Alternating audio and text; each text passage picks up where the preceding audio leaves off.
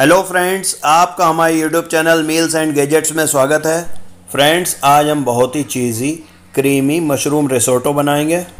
रोज़ रोज़ का जब नॉर्मल खाना खाते खाते आप बोर हो जाएँ, और कुछ रेस्टोरेंट स्टाइल स्पाइसी क्रीमी पेट भरा हुआ व्यंजन का मन हो तो आप इसे घर पर बनाएँ।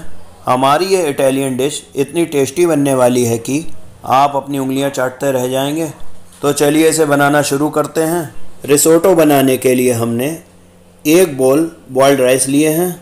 वैसे तो ये रेसिपी अरबोरियो राइस से बनाई जाती है, लेकिन हम इसे नॉर्मल राइस से ही बनाएँगे। हम जो चावल डेली में खाते हैं, उसी का प्रयोग रिसोटो बनाने में करेंगे। एक बोल बॉयल्ड राइस लेने के अलावा हमें चाहिए एक बोल ग्रेटेड प्रोसेस चीज़ कुछ कलरफुल सब्ज़ियाँ, कुछ मसाले, दूध, प्याज, लहसुन बटर और कॉर्नफ्लोर इसके अलावा रिसोटो बनाने में हम मशरूम और स्वीट कॉर्न का भी प्रयोग करेंगे। ये सभी मटेरियल लेने के बाद अब हम एक पैन को गैस पर रखेंगे और पैन को गैस पर रखने के बाद हम इसमें एक गिलास दूध डालेंगे। इस दौरान हमारी गैस की फ्लेम मीडियम रहेगी। जब दूध गर्म हो जाए, तब हम इसमें एक बोल चीज़ डाल देंगे। देखिए, हमने दूध में एक बोल ग्रेटेड प्रोसेस चीज़ डाल दिया है और इसे चलाकर मिला दिया है। दूध में प्रोसेस चीज़ डालकर मिलाने के बाद जब चीज़ मेल्ट हो जाए, तब दो टीस्पून कॉर्नफ्लोर को आधा टीस्पून पानी से घोलकर चीज़ मिले दूध में थोड़ा थोड़ा कर डालें और इसे लगातार चलाते रहें ताकि इसमें लम्स ना पड़ें। दूध में कॉर्नफ्लोर डालकर मिलाने के बाद प्रोसेस चीज़ और कॉर्नफ्लोर पड़ने से ये दूध गाढ़ा हो गया है।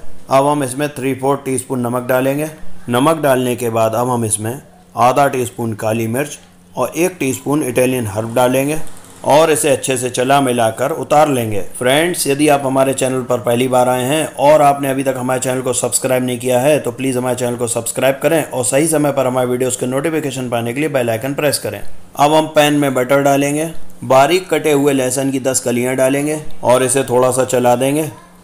एक मीडियम चौट प्याज डालेंगे। अब हम प्याज लहसुन को थोड़ा सा गैस पर चला देंगे। इसके बाद हम पैन में आधा बोल बीन्स काट कर डालेंगे। बीन्स को भी हम हल्का सा चला देंगे। बीन्स डालने के बाद हम पैन में एक चॉप्ड गाजर डालेंगे और इन्हें दो मिनट सोते करेंगे। अब पैन में वन फोर्थ चॉप्ड फूल गोभी डाल दें। फूल गोभी डालकर सभी मटेरियल को अच्छे से मिला लें।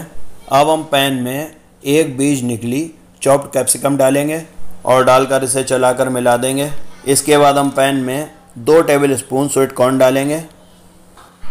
पैन में स्वीट कॉर्न डालने के बाद हम इसमें एक बीज निकला चॉप टमाटर डालेंगे, पालक की एक गुच्छी, ब्लांच और चॉप्ड कर डालेंगे। ये सभी मटेरियल डालने के बाद अब फाइनली हम इसमें पतली स्लाइसेस में कटा हुआ एक बोल मशरूम डालेंगे। मशरूम डालने के बाद पैन के सभी मटेरियल को हम बहुत अच्छी तरह चलाकर मिला देंगे। इसके बाद अब हम पैन में एक टीस्पून नमक डालेंगे। एक टीस्पून काली मिर्च और एक टीस्पून इटालियन हर्ब डालेंगे। इसके अलावा हम पैन में आधा टीस्पून लाल मिर्च डालेंगे।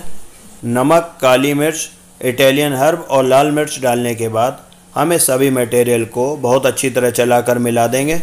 देखिए, हमारे पैन का मटेरियल बहुत अच्छी तरह मिल चुका है। अब हम पैन में दूध और चीज़ का तैयार पेस्ट डाल देंगे। देखिए, हमने पैन में दूध और चीज़ का तैयार पेस्ट डाल दिया है। अब हम इसे बहुत अच्छी तरह चलाकर मिला देंगे। पैन के मटेरियल को बहुत अच्छी तरह मिलाने के बाद अब हम पैन में बॉइल्ड राइस डालेंगे।